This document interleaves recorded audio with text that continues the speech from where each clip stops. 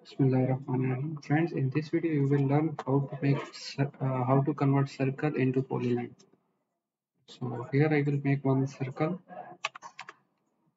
and uh, give dia for example point 50 centi. Okay.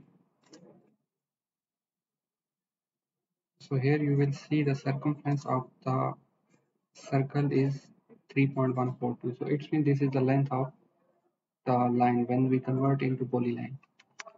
So first of all you have to break. Uh, just give command br and break this circle. Okay then select the circle and again give command edit edit enter. Yes. Okay and close. So this is now converted into polyline now here you can see the length of this line is 3.142 as I tell you before. Now you can play with the global bit. For example, if I give point 20, okay, but the length remains same. Thank you for watching. Allah Hafiz.